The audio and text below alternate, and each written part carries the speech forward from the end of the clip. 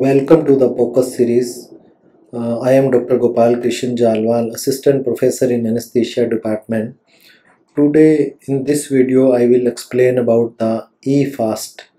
So EFAST stands for the Extended Focus Assessment with Sonography in Trauma Patients. EFAST is very sensitive and specific diagnostic tool to look for the intra-abdominal fluid collection and pneumothorax in trauma patients. In the EFAST, we do scanning at the pericardiac, perihepatic, perisplenic, pelvic and anterior intercostal space areas. If patient is EFAST positive and hemodynamically unstable, then there is a need of immediate intervention. And if patient is hemodynamically stable, then we can go for the further diagnostic testing.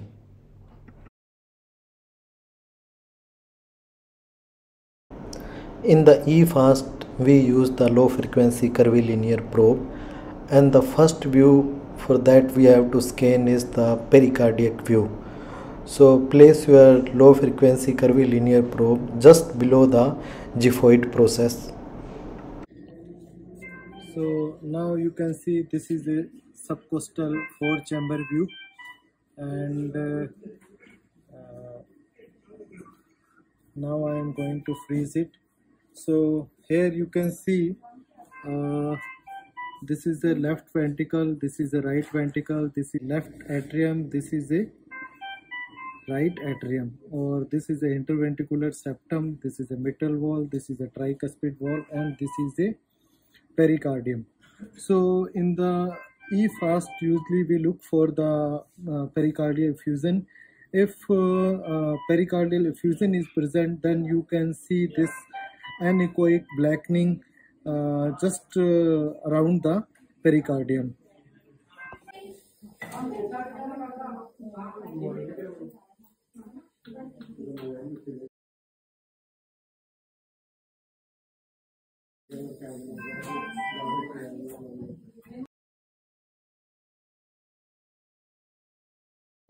Place the low frequency curvilinear probe in a posterior axillary line in the seventh or eighth intercostal space. And you will get this view.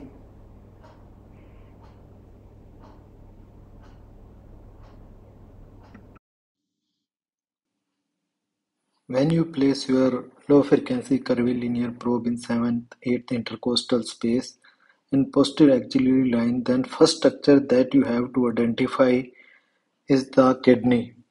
Uh, on ultrasound, kidney is a bean-shaped structure. Here you, you can see. And we know that kidney has two parts. Outer is the cortex and inner is the medulla. On ultrasound, cortex is a anechoic or slightly hypoechoic. Here you can see this is a cortex.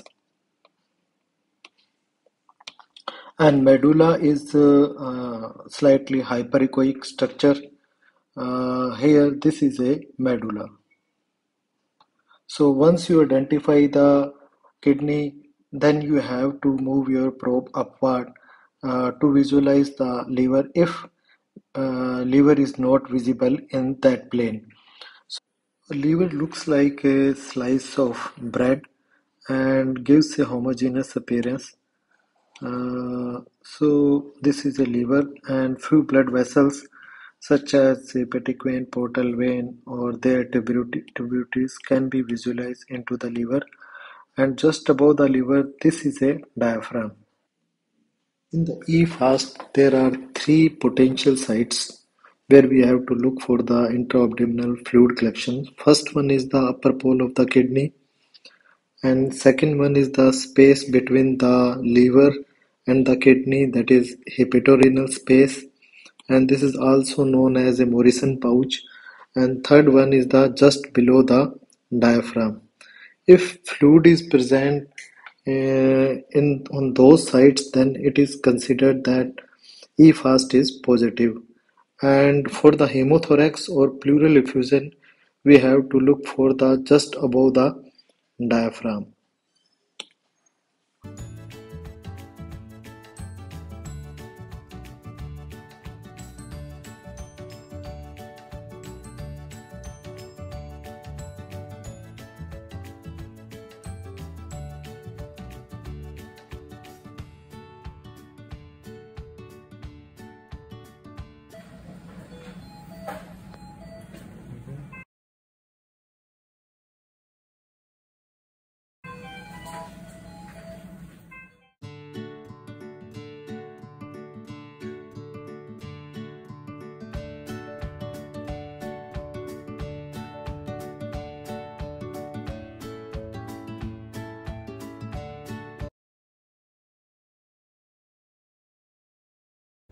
When you place low frequency curvilinear probe in the left side in posterior axillary line in fifth or sixth intercostal space then you will see this sonoanatomy.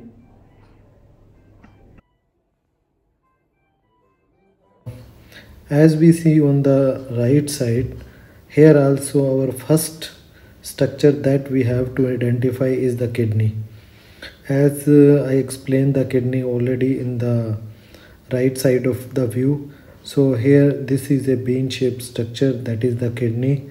And this is a cortex.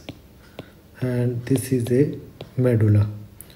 So just above the kidney you can see a homogeneous structure that is slightly hypoechoic when we compare to the liver uh, that is the spleen okay and just above the spleen you can see another a hyperechoic structure that is the diaphragm.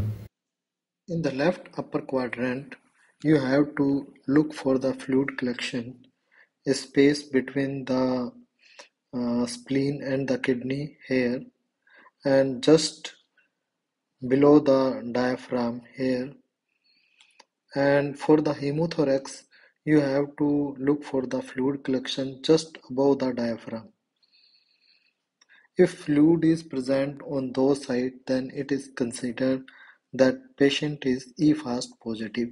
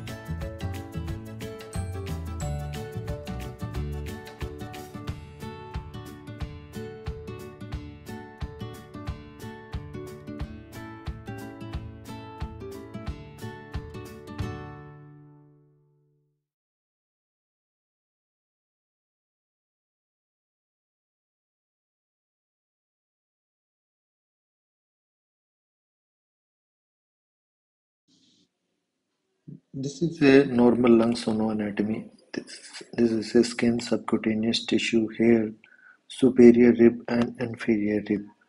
The bony structure always gives a acoustic shadow in the ultrasonography. Here you can see the acoustic shadow of the ribs.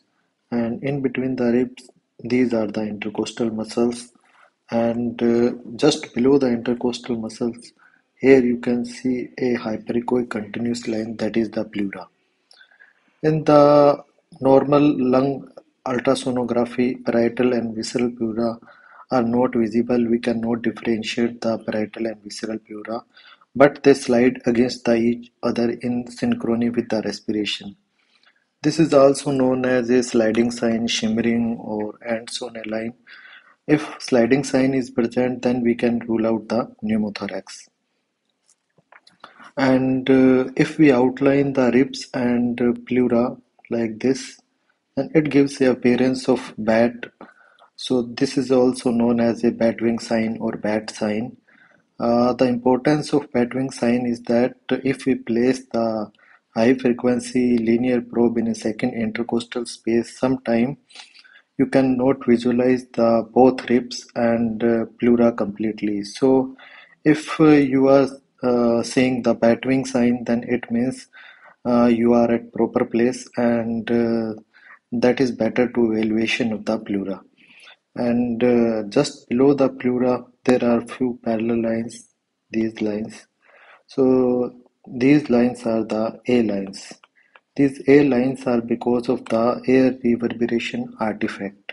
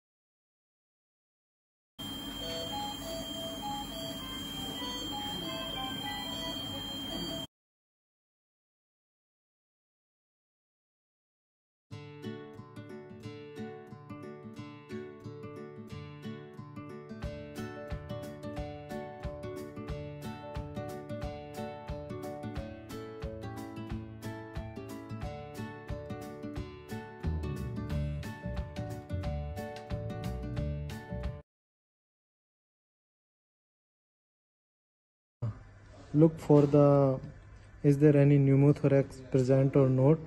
So we have to place the low frequency curvilinear probe between the second uh, or third intercostal space. Yeah. and then orientation marker should be cranially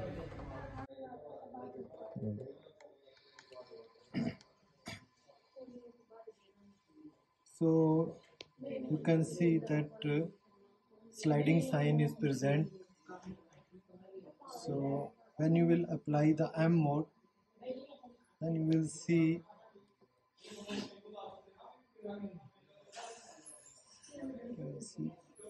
this is a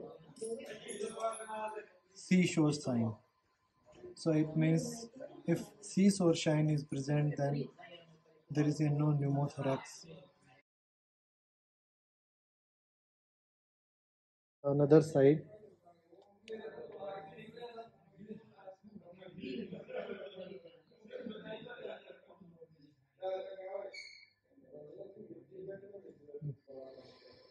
So now you can see that this sliding sign is present. And when we apply the M mode there is a seashore shine is also present.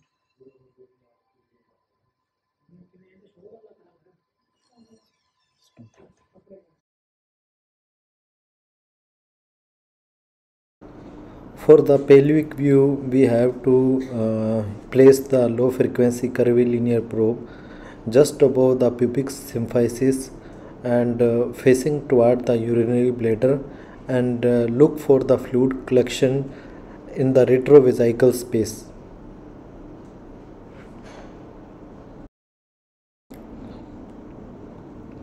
Here you can see a black anechoic structure that is the urinary bladder and uh, now I am going to rotate my probe in a sagittal orientation so in the E fast we have to look for the fluid in a retrovesical space